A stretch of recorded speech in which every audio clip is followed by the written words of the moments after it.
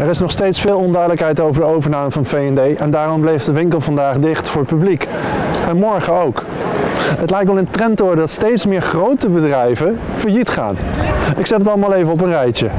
In april vorig jaar werd de Etam groep failliet verklaard. Daaronder vallen Miss Etam en Promise. Een half jaar later viel ook de Basgroep om, bekend van elektronicazaken als Dixons en Mycom. En onlangs zijn ook deze bedrijven failliet verklaard.